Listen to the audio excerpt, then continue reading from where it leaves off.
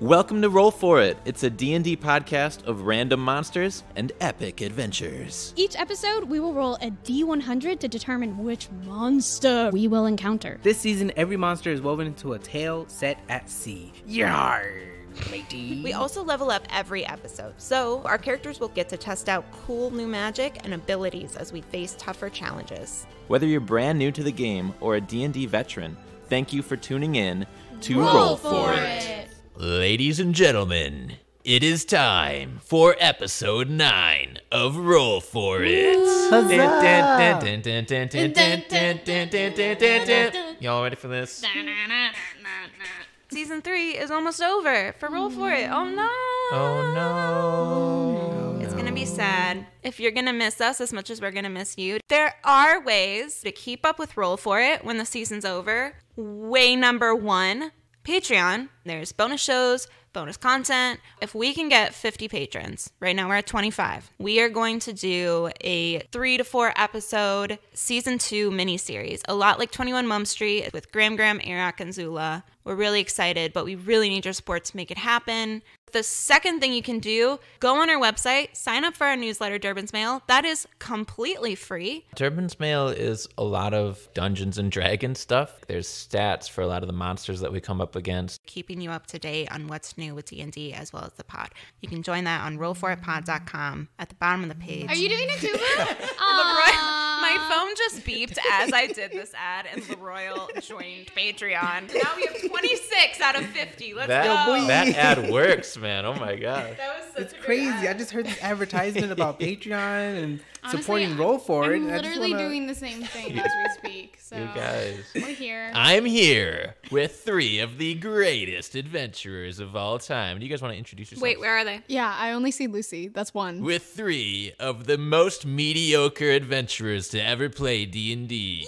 I like that. I like that. What's up? I'm Lexi. I play Yue. She is an artificer tiefling, and she has a little bit of a deep dark past. She's running from some people, and she's kind of gotten her friends into trouble, but she's doing her best to to be a good guy if she can. Maybe we'll see. It's Leroy playing the Moon Elf Ranger, the beast of a ranger. From the questions that I had saying that the ranger's the weakest, I just want to point it out that he is the beast in this campaign. Wait, what happened? Like, did somebody call you weak? I will mess them up. we did a social media FAQ. We were like, ask any question you have for any of our cast members. And three, maybe four people immediately were like, why'd you pick a ranger? Rangers suck.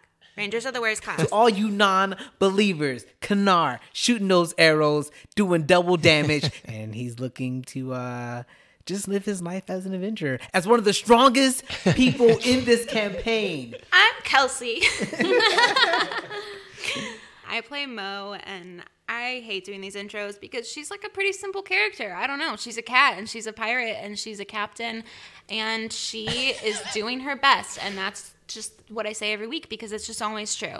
I'm the dungeon master. My name is Jake, and I like a lot of different colors. I used to like orange and blue the best, and I liked them together, but now I think that together that's kind of really too much. My favorite number is 47. When Jake says that his favorite number is 47, like, oh my, you guys, every time that number pops up, all the time. it's not more than any other number, but Yes, we have to have a celebration every time. All right, this is episode nine, which means we are all level nine. Uh, real quick, what did you guys get new? I got a lightning arrow. is that better than acid arrow? Yeah, lightning arrow does a whole bunch of damage when it works. I have a new mastermind ability. It is called Insightful Manipulator, which, if that is not a mo descriptor, I don't know what is. I got a lot of new spells. I'm very excited. And I'm doing some cool infusions today, man. So. Yeah, yeah. I've never made that sound in my life. But it sounded so natural.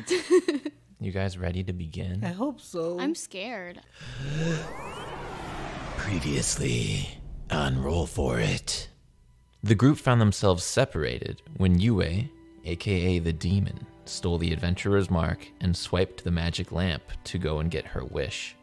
Mo, aka the stray cat, was whisked away by a unicorn named Ozzy, who showed her that her temporary in town home had been destroyed by Robert Coward days earlier. Ozzy then transported Mo aboard the Fiery Revenge, a familiar ship that he said could actually be a proper home for her. Back in Saida, Kanar, aka the Carpenter, had a chat with his grandmother Thestina and a wandering turtle named Graki, who each had a lot to say about the adventuring life and companionship. With Kanar's new magic map from Thestina and Mo once again in command of the fiery Revenge, the pair caught up to Yue just in time to aid her against a yellow musk creeper and its army of zombie hosts.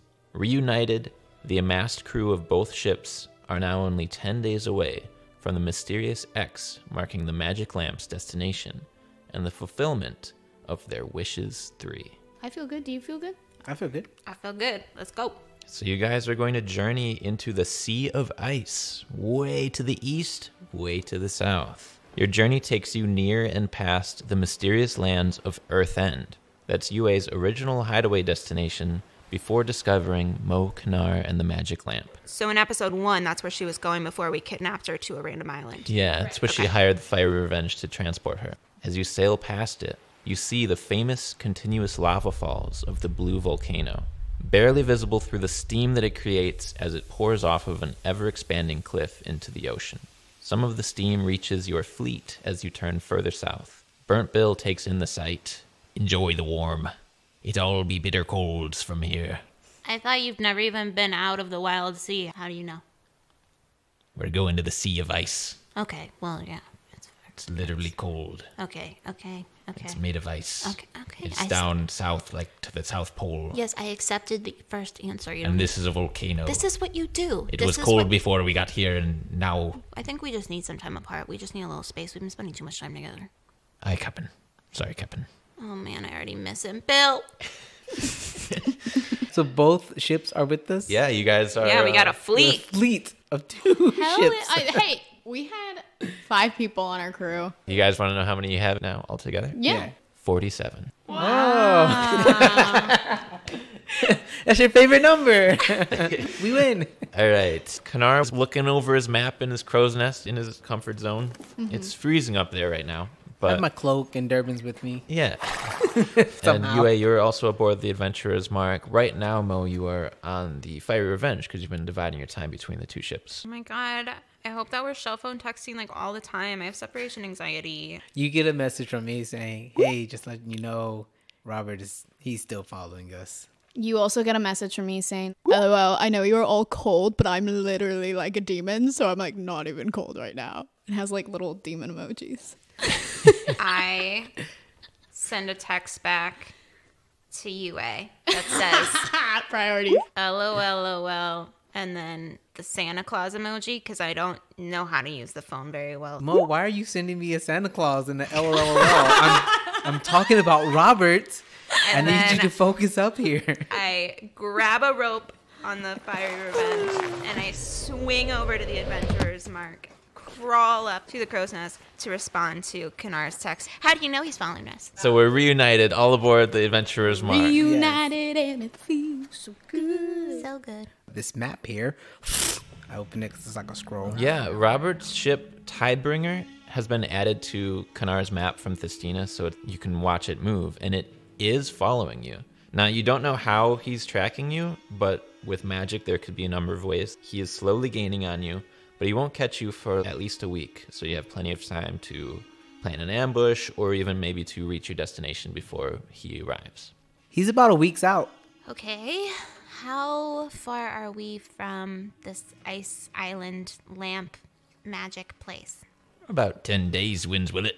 Burnt Bill, that is not good. This guy sucks. I really would like to be on land before we run into anyone like Robert Coward. So, how can you get us there faster than 10 days? We have options. Are we doing battle planning? Can we do it downstairs? Yeah, I know you're mad at me, but like, I have gifts. Maybe you'll like me more after that. You got gifts? What do you got? Tell us about them. Well, they need to come downstairs first. Are the gifts more or less than $20? Uh, I don't. I didn't use money.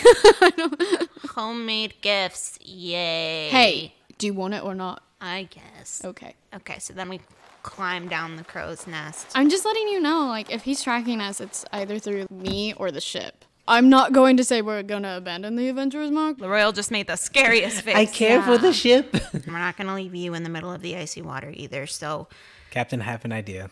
yes. We'll use the Ray Frost Blast to freeze the water behind us. That way, when he comes into it, it slows him down even more, giving us more days and more opportunity to set something up. Okay. I was promised gifts. Right, if I right, right. came Okay. I have some infused items to give you. Your rapier mo, uh, you get a plus one bonus to attack and damage rolls. It's called Radiant Weapon. Like a lightsaber, kind of. You basically just got a lightsaber. This is worth climbing down from the crow's nest. Kanar, may I see your short blades? You- Oh yeah, I gave you a little bud from. the yellow musk creeper. Yes. still in its vial. Can I have it real quick? I oh. want to. Sure. So I take this bud and I'm like, oh gosh, I need a freaking table. You want me to hold one of the? Yeah, hold one of the things. And then I take the little yellow bud out and I smash it, and this beautiful yellow energy swoops over the blades. Ooh, homebrew. When you crit with those, you're going to deal an extra damage die. And the psychic damage. Extra, extra. First, Kanar gave everyone presents, and now Yue's giving everyone presents. And Mo's starting to feel like very self conscious about it. So she slips away while they're trying to figure out who's going to hold the short swords, which takes a minute. She finds this rusty penny on the floor and then takes the handkerchief out of Burnt Bill's back pocket, which has some embroidery on it. It's also got some, some Burnt Bill on it. And she takes Yue's hands. Yue, I give you this lucky penny. It does not grant you any abilities except my love. You're welcome. Oh, uh, I, I love this lucky penny. Thank you. And then, Kanar, to you I give you this handkerchief. It is hand embroidered by someone. I'm guessing it was Burnt Bill's mom. It gives you Burnt Bill's mom's love. Oh, th- thank you. May it protect you in tough times. Also, if Burnt Bill sees this, you might have to give it back to him. I'm sorry. ha, nice. I don't have to give my penny to anybody. you got guys each gain five friendship points after Um, this. by the way, everybody, we have this moment. 25 25? points. Anyways, um, hope you guys like your new weapon stuff. So you guys progress through the sea of ice, and now it's the night before you guys are set to arrive. The remainder of the crew sits around a fire on deck using tiptoes. He's the half giant who's the bosun of the Fire Revenge for cover from the wind. He's a huge guy and his body is very much exposed. So Mo tells Burnt Bill to go get the extra sail mm-hmm. and we wrap it around his shoulders as like a blankie. All right, you roll him up in a giant cocoon that lays out on the deck, and Tiptoes says, Did you really fight an army of meenlocks in the midst of the wild sea? Yeah, I did. It was the dead of night and suddenly I woke up to a skinny young elf banging on the door. Mo, Mo, there's something on the ship. Yeah, that guy is no longer with us. I don't know what happened to him. The rest of the crew leans in to hear more as you continue. And it's really the first time that she's gotten to tell a story that's true. She almost exaggerates, but then she's like, you know, I don't even have to because this is a dope story. And then she gets to the end and she says, and then as the dog was licking up the rest of the grease, everyone said, Good job, Mo. Yue was kind of okay with how she was told in the story, so she starts the clap. Yeah, Kanar joins in. yeah, there's some applause, some aye ayes. And Tiptoes goes, Man, I hate those fey fuckers. Sneaking up on you in the night. Just, oh, just icky. Kanara, you were watching Thestina's map intently, and you see Robert Coward's blip creeping ever closer. He'll reach you tomorrow for sure. You guys sail through the rest of the night. Captain Mo, there's something in the sky. What? A sky? A guy? The sky. The sky. There's something in the sky. Might be a guy. Come look.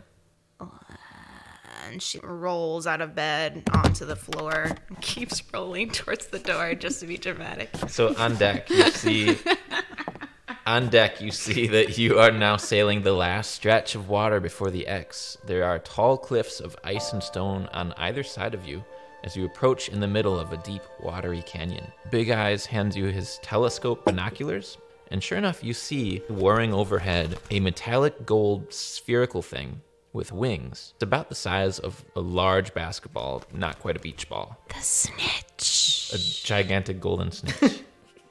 We just see three wizards fly by and kick it. and you see that it has a single eye on its spherical head, and it looks kind of like a clockwork Mike Wazowski from Monsters Inc. Cutest monster we've ever rolled. Yeah, it's kind of uh, adorable, just chilling up in the sky, like, hey. It flies to the cliff and is watching your ship from the shadows of a large rock.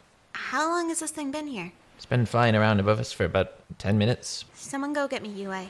Yue, Captain Mo wants to see you. Oh, big eye. What pleasure. Yue's being so weird. I just haven't talked to Big Eye Four before, and I'm really excited. It is fun to say. Yeah, that's why I said. Everyone who's listening to this podcast, say Big Eye Bort out loud and tell me that you're not infinitely a happier person. Sorry to wake you, Euphoria. This is Big Eyed Bort. Big Eye Bort. I was told to rouse you for the captain. Thank you, Big Eye Bort. Lead the way. Big Eye Bort. Kanara, you see Yue and Big Eye Bort heading over to the Fire Revenge. Yue, I need you to do the thing where you talk really loud like the devil and you sound scary so that this thing will hear me because I want to know if it can understand us. Oh, yes, my thaumaturgy. Okay, Mo, what would you like me, or excuse me, Captain, what would you like me to say to our golden snitch? Um, say hello there, circular friend. Just say it. Would you like, mm, Trust me, I have way more charisma than you. Say hello there, circular friend, and try to like keep the voice like the least devilly that you can. okay. Red leather, yellow leather. Red leather. Hello there, circular Thing or person. Friend. friend. Oh man. I am Euphoria here with Captain Mo and oh, oh my friend Kanar's over there. Going We're just, we're just saying hello. At first, this thing seems to cower a little bit, but then it keeps its head out, looks left and right down the canyon and back, and then flies down and duck and rolls, loudly clatters onto the deck of the ship. Oh my, oh god. Mo, Mo, it's falling. It for sure looks like a cat toy. It just takes over and she pounces on it and stands up hugging this. Mo, Mo, get off of the circular friend. It's very heavy, Mo. It takes all of your weight to lift it a few feet, and then you fall over. Yeah. Because it's like a giant basketball of metal. And as it backs away from you, I get low and I go, shh, shh. I don't know what that was, and I'm so sorry. um, but we we are here for discussion. I slightly alter my appearance for one minute Okay. to look friendly, uh, maybe like a distant cousin or something. just like a like a Snapchat filter. yeah, I'm like, yeah, I literally put a Snapchat filter on myself where it's like like little hearts. your eyes get a little bit too yeah. big, and I'm like, hi, what are you doing up there? And it beeps and whirs and gestures around desperately as it tries to communicate. He needs um, help. Where's the well, lassie? oh my god, I wish the world could see this. No, it's charades. I suck at charades. Pay attention. Pointing at us. Pointing at everybody. You want to be in the crew? No, not the crew. Not the crew. Walking. Our heart will explode if we walk. You will explode. You, You? are a ball. At the meantime, Kanar, Kanar jumps out of the, the crow's nest and catches a rope to swing across to the fire revenge. Guys, I, I think this thing wants us to follow it. DM of a podcast, the charades bit is a very strange choice. This ball sounds like a chicken. And then he mimes walking like an army. There's an army of balls. There's an army of you, of your species. They don't like Kanar. No, they, They don't like, you. Why? Oh, he's Do you want to join our crew? Oh, do you want a snack? I have snacks. You're an artificer. You can't talk to technology. I don't think he's technology. He's a machine. Captain, looks like there's more of them coming. And the orb shaped creature dives for the stairs below deck, loudly falling down them. Guys, I think he's a little robot serial killer, and here comes the cops to get him. No, no, maybe.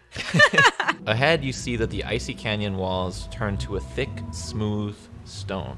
The cliffside has been carved out into a perfectly symmetrical, grand rectangular archway. The large archway is centered around a large stone door with intricate geometric carvings, and there is a path of water in the center of this impressive structure that the adventurer's mark could turn into and sail right up to the entrance. The Fire Revenge would have a much more difficult time of it.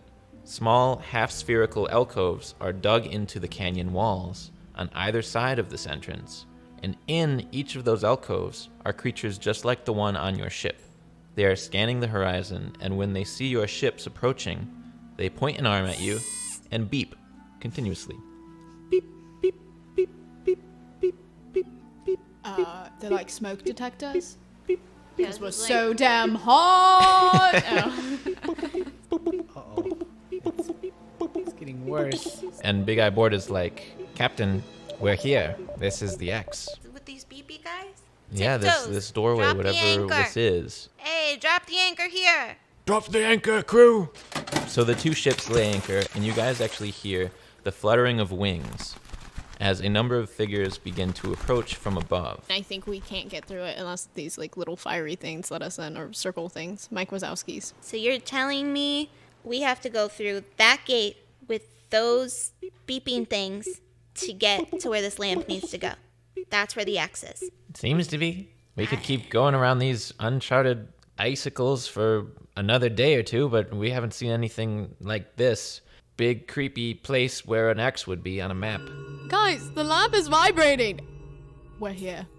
Twelve flying metal basketballs, exactly like the one hiding below your deck, approach your ship. These basketballs are called monodrones.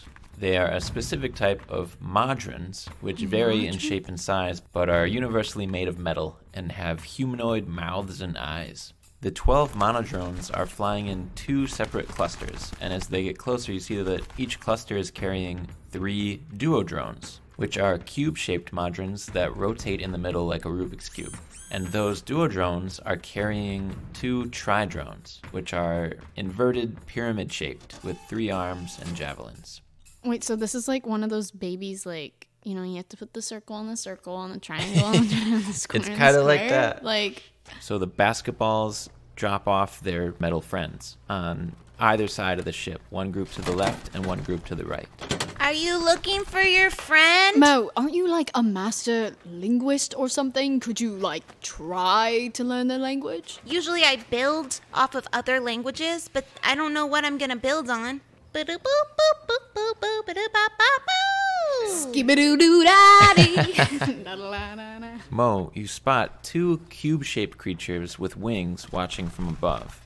They are the commanders of this group. They are quadrones, and they each carry a bow and a quiver of arrows. Are they gonna attack us? The ones carrying the bows don't have arrows at the ready. They're just they're just carrying them for now. Hard heart. Can you go get whatever's hiding in our basement? Just bring him up. Don't let them have him yet. I'm kind of down to give him up. I think that's our problem. Go get him. All right, let's go. The two tridrones that landed, they both approach you from opposite sides, and they speak in common. Oh. Have Do you you seen seek entrance entrance to to the the vault? drone? Oh, um, one at a time, please. Have Do you you seen seek entrance entrance to the vault? drone? One, yes, please let us in the vault. Two, what has this rogue drone done? Beep bop boop boop boop. That was a swear word. Most pretty offensive. Both of the tri drones nod quickly in understanding, and then two of the monodrones fly over, pick them up by the shoulders, and carry them up to the quadrones. One to the right, one to the left. Beep, boop, boop, boop, boop, boop, boop. Both of them come back uh, about the same time, but staggered by a couple of words, so you can understand them a little. You need the correct key The unit to enter is the vault. vault. malfunctioning. The the rogue mono is malfunctioning. this is some culty shit. I know it's a lot. Also, why did the one in our basement not speak common? We seek the You need the malfunctioning unit. to enter the vault. Well, Go downstairs and try to fix the thing. I normally work with wood, but I think we both should go down because you're more of the technical side of the electronics. you guys, I've told you for the last nine episodes that people can hear you whisper when you do this. Mm, we I'm were real send, quiet I'm this send you time. a shell message. This was all through shell messaging, and then Kanar and I like awkwardly like back up. Yeah. You whistle and they all look towards you like, what did you just say? they don't. if we give you the guy, can you give us the key? Who are you talking to? The right guy or the left guy? The general guy. The right one is the one who said something about the key. Mm-hmm. He nods in understanding. The two monodrones pick him up by the shoulders and he is flown up to communicate with the quadrone. Meanwhile, the other guy continues to repeat, We seek the I malfunctioning don't unit. love that this quadrone is sending these guys to talk for him. Like, say it to my face. Why doesn't he just come down? We seek a malfunctioning unit. How is he malfunctioning? What's wrong with him? It nods at you slightly and then gets carried up to the quadrone. Again with this freaking quadrone. Meanwhile, the other one comes down and says, We do not know of a rogue Modron. So they just don't speak to each other at all. The other one flies down. We Modrons work together to serve Primus, our creator. Occasionally, Modrons go rogue and need to be reset. Can I speak to Primus, please? This is like a parlay. I want to speak to your captain. Bring me Primus. It flies back up and comes back down and it says, Primus, the god of order, is not available to speak. Can I leave a message? Yeah! Meanwhile, you guys have reached the bottom of the stairs. Uh-huh. Just as Hardheart and Big Eyes turn the corner, each with an arm of this monodrone. I'm telling the little robot, like, hey man, listen, your people are upstairs.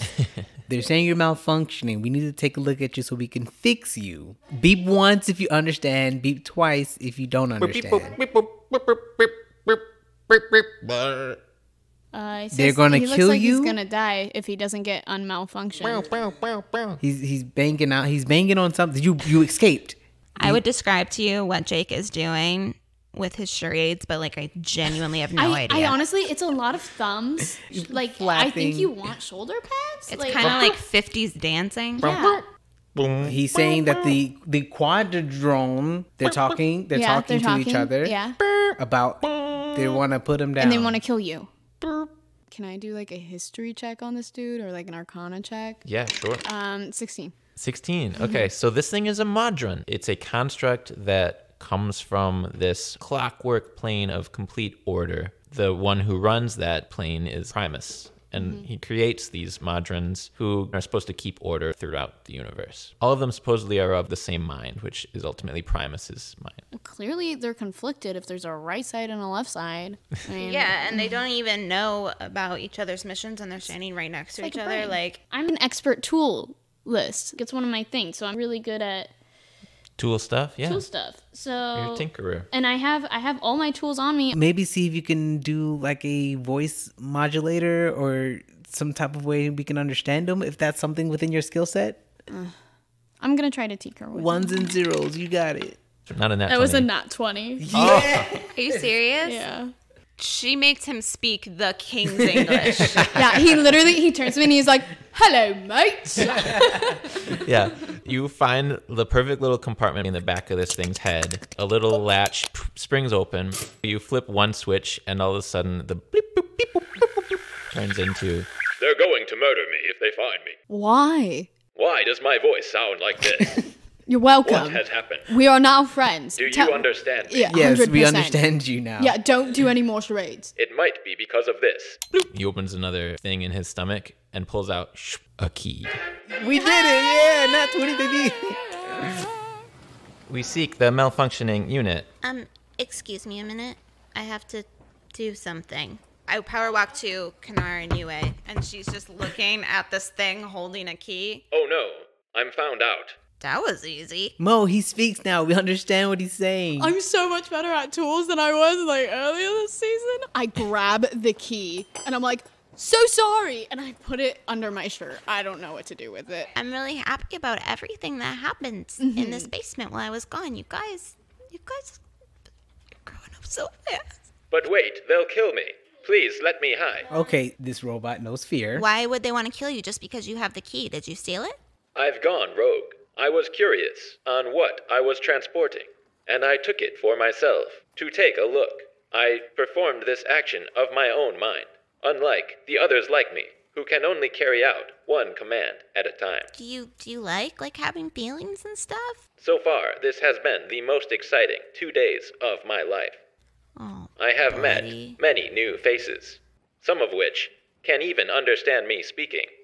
This would be so much simpler if I didn't just fall in love with you. Oh, it's hard to be me. Yue is having a really hard time right now. She's like, it's not really that cute, but like I get where Mo's coming from. What's your name? Do you have a name? I am Unit one one three three two one three. Robo one, One. five, Let's just call him Robo five, One. Four. There's a lot of numbers. Can we name him Gecko? We can't just name him. He has a name. His name is Unit. Unit it is. Unit for short. I have a name now. Please do not let me die. He's Mo, a slave, I- Yue. I'm not saying anything. I haven't said anything yet. What Yue, you don't know what I I'm gonna know say. what you're gonna say. No, He's a can I can I speak? What that would be fun. Guys. I think we should you- just hide hey, him. Hey. And I, I cast Pass Without Trace on just the robot. He's invisible now. Very good at hiding now. Stealthy. Yeah. Figuratively speaking, invisible. He's coated in camouflage all of a sudden. We'll Keep you safe, but we need you to guide us so we can find We don't know. We have we whatever don't it know is we we're need to find. When you cast Pass Without a Trace on him, his voice changes a little bit, so now it's like, I have seen a thousand feet from my guard post in every direction. I know how to get from here to the door. I will gladly guide you. Okay, what I need you to do, unit, is try not to make any more sounds. If anything were to come down, except for the three people you just talked to, and stay more well hidden than you've ever have. This will be my second ever attempt at hiding. How'd he do? with Kanar's modifier, he got a 28 to hide. Oh, yeah. I will hide in that barrel beneath food. Wait, are you are you sanitized? But Is it too the late. plumes? He's If jumped. it's the plumes, he's we're- jumped into the the crate of plumes. No. I hope there's not oil on him. Yue, can I have the key, please? I take it from out of my shirt. And then I take out my rapier and I march back upstairs. Okay. if they want to search, they might have to, but he's he's pretty invisible. I'm uh, just gonna keep saying that. May- maybe hide the key and say, "What if we do have the key?" Before just presenting it to them. I have my rapier out. I'm the captain. I'm going upstairs. So I go upstairs. I follow Mo upstairs and I'm getting my spells ready. Okay. It looks the same upstairs. It's still these two things standing there. Yeah, well, they've been pestering nearby members of the crew. I go to the guy who asked me if I needed a key. And I say, okay, I have the key. Are you going to let me in? It nods at you in understanding and flies up to the quadrone up above. Mm-hmm. When it flies back down, it says, Thank you for showing us the key. And then the 10 that were with the right side grab each other back up into formation and fly back over the cliff and out of sight. And the other ones, the tridrone that sees you come up with the key says, Where did you get that key? But it turns back to the duo drones, the cube like ones, and goes, "Beep, beep, beep, beep." They spread out slightly into battle formation, javelins at the ready. It was on a board in the middle of the ocean. A big old hunk of wood with a key on it. And I was like, ugh, that's. That's so cool. That's what those guys wanted. Now we can help out those little robot guys. I love collecting keys too. So Yeah, we have a, like a hundred oh different. Oh my you gosh, you one? should see my room. It's just Key keys, keys, collector. keys. I'll have you make a deception check, and you guys can have the better of your two rolls. I got a 24. Okay, you, we can keep yours. The tridrone nods in understanding, the same level of polite as always, flies up to the quadrone up there, and when it flies back down, it says, May we search the premises of your ships. Bitch, no! Get off my boat. I told you that there's no one on it. What are. What? No. Flies back up, flies back down, and it says, We will search the premises of your ships. Oh my god. Okay, so Mo takes the key in her hand, shoves it down her pants, and then she, uh. I don't know. I guess she stabs the first one she sees. No. Yue turns backwards and she casts her darkness below deck where Unit is hiding. Murder. Yeah, murderer. I was trying to be strategic. I don't want him to look at my boat. like, let's not start it. Let's wait and see what they see and then be prepared for it, is what I'm thinking. After second thought and consulting with my friends, I do not stab anything with a rapier. the search is about to commence, and these mm-hmm. modrons need to get their plan in order. The tridrone will fly up to the quadrone, will fly back down to the duodrones, which will then pass on orders to the monodrones, which can fly around. This is really difficult for Mo to watch. Like, Mo goes into the captain's quarters trying her very best to distract herself from not killing every single one of these creatures. Every room they'll search in, and then if there's a mop bucket tipped over, a monodrone will call it out and say beep beep beep beep beep, and a duodrone will say, "Hmm, like that's not what they're looking for, and they'll move on. These people are Mo's worst nightmare. Like something that just points out little mistakes and shit. Like, One of the monodrones flies into the captain's quarters, sees a stain on Mo's pants, points it out, and says beep beep beep beep beep beep beep beep beep. the fury in this cat's body. Like, have you ever seen a cat just completely stop moving because it's so mad? Yeah. So the monodrones, accompanied by duodrones, head below deck uh, into the darkness that's there and search around. Just a reminder that nobody can actually see, so you don't know that this is actually going on. That's fine. I like the description. I can I'm just it. letting- I'm just I can letting hear the these audience know. flutter down there. So I'm rolling with disadvantage. That's because we got this heavy ass stealth. We have stealth, we have dark vision, we've got like we've prepared. Now the highest that I rolled Uh-huh. is a 19. What? What do you mean? But the monodrone that you guys hid with Pass Without a Traceability hid at 28. Oh, that's right. So it's going to remain undetected. Woo! Nice. All of the Modrons return to the deck, report to their superiors, who report to their superiors. The Tridrone is going to approach you, Mo, and say, Let us know if you see a defective Monodrone unit. Yeah, I'll do that, bud. And then two Monodrones fly in, grab it by the shoulders, and fly out of the captain's quarters. I just call down to Kanara and I say, Coast clear. Aye, Captain. Everything's good down here as well. Get him out of the plumes and like use some hand sanitizer on him or something. Aye, Captain. Then I call the whole crew together. We have a little team meeting. I want Burnt Bill, Nugget, Kanar, Yue, Unit. On the adventurer's mark. The rest of you guard the ship with your frickin' lives, boys. Hard Heart says, Aye, Captain. We'll be ready to defend. Come back this time. Oh. I look at him and I say, If I don't come back, that means I'm dead. But do not make one of those weird little robot things your new captain, okay? Just assume that the ocean killed me and make the ocean your captain. Aye, Captain.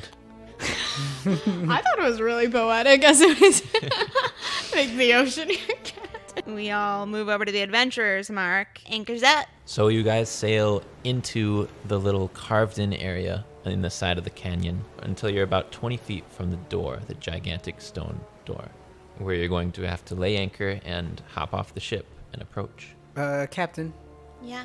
would it be a good idea to alter units' appearance? We could paint them, chisel them. I might have a spell, but I don't I didn't ready it.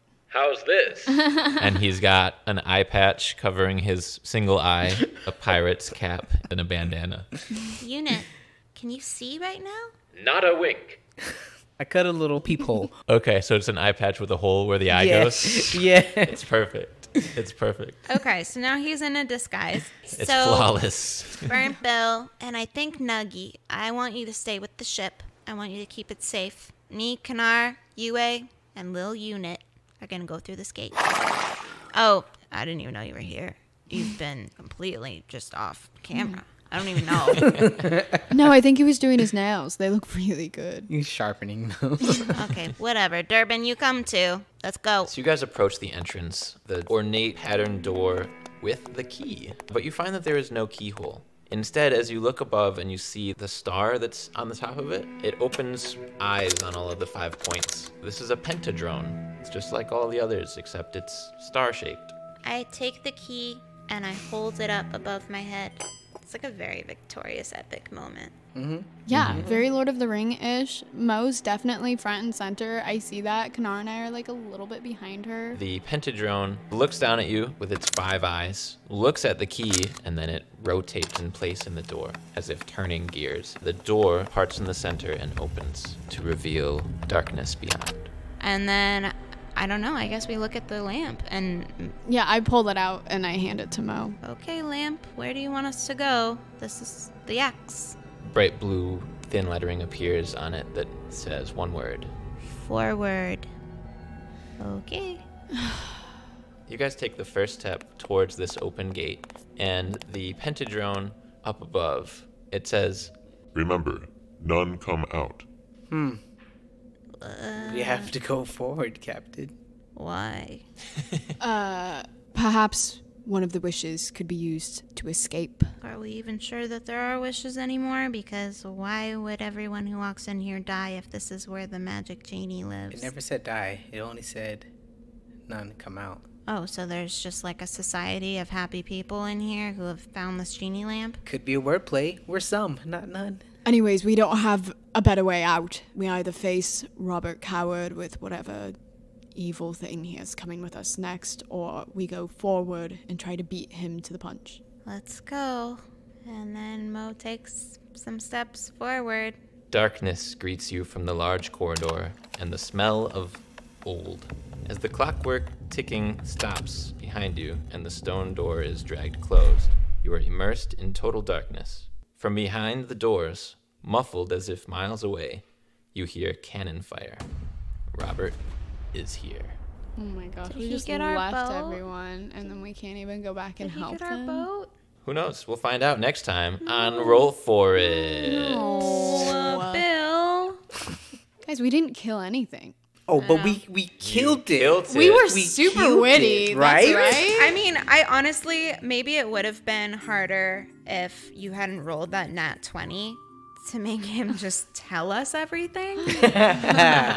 We're moving into episode 10 now. How does everybody's characters feeling after the events of episode 9? At the very end of episode nine, Robert has caught up. So part of him is like he he wishes he could have been out there to settle the score and set the trap more properly. But he has no choice but to kind of focus on what's ahead of him now, and that's where his attention is shifting to be. Yue from the episode before is just like really trying to like do right for both of them. She's really trying to be like a pleaser right now. I think she's pretty anxious about the whole thing and she just wants to get it done. And so she's gonna go forward like no matter what. And yeah, the cannon fire, pretty scary. Like not a good thought. It's just that's a really hard thing to walk away from. I mean, Mo is always one foot out the door. She's torn between this, like, I finally have friends, so I guess I'm gonna support them. And also, like, why are we walking into the store right now? It feels like there's other things we could do. There's no way to run. And she hates that. What happens in the epic conclusion of season 3? Oh, it's so close, so close, so close. Thank you, everybody. I really like that, Kelsey. I like was gonna add on to it, but I liked it. So good ending. Thanks. Peace! Out. Hey everybody, it's time for a shout out to our patrons. Thank you all so much for continuing to listen and enjoy the show. So, here are your pirate names Handsome Dom GP, Pranav Splinter Bapanadu, Jennifer Shaded Angles, The Royal No Knees Tut, Lexi Barnacle Jen. Love you all. Happy trails. Happy sails. Heh.